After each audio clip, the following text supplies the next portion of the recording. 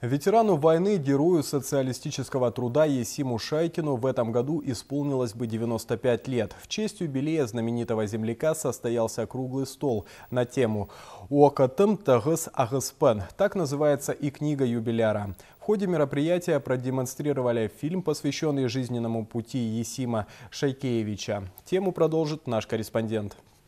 Участники круглого стола – почетные граждане региона и представители молодого поколения. Ведь кому, как не им, продолжать дело, начатое знаменитым земляком. А был он грамотным специалистом, опытным руководителем, профессионалом своего дела. Всю свою жизнь трудился на благо Родины и своей родной североказахстанской земли. Родился Исим Шейгеевич 10 марта 1926 года в селе Ульго Жамбылского района. А работать привелось практически во всей области.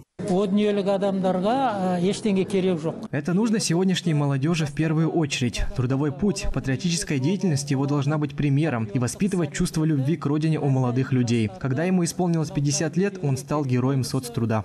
Исим Шайкин – ветеран войны, герой социалистического труда, два раза награжден орденом Ленина, орденами Трудового Красного Знамени, знаком почета и медалями. И выйдя на заслуженный отдых, он активно участвовал в общественной жизни, много работал.